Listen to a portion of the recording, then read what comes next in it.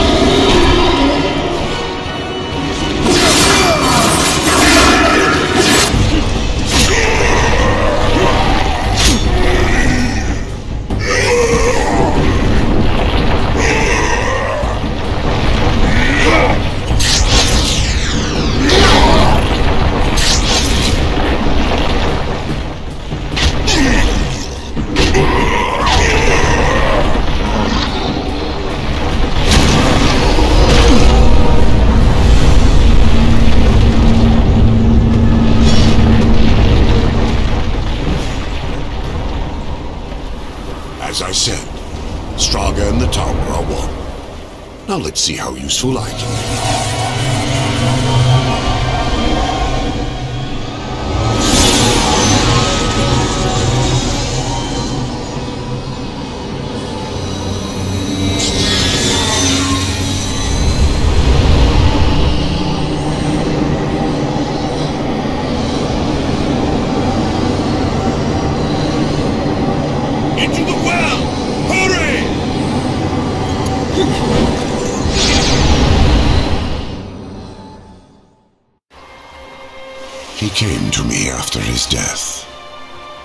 Abaddon. Alive. And I wanted so much to believe. I was such a fool. Azrael, you saw Abaddon after he fell. Saw him. I brought him here to Eden. What treachery is this, Azrael? Eden doesn't exist. Not anymore. Ignorant sprite. I bore witness as the first ones were cast out and the garden fell to ruin. I could not let heaven's first gift and greatest weapon simply rot, or worse, fall to darkness. I hid it away. The Tree of Knowledge. Then, Abaddon has been to the tree. You must draw upon its gifts now. If some way exists to stop the destroyer, the tree will show it to you. I never dared use it myself. Perhaps if I had, things would have been different. And Abaddon, what of his gift? That was not for me to know. Each who comes before the tree receives a different gift. Some receive nothing. Others are driven mad by visions, or simply destroyed. No, I cannot say for certain. Come.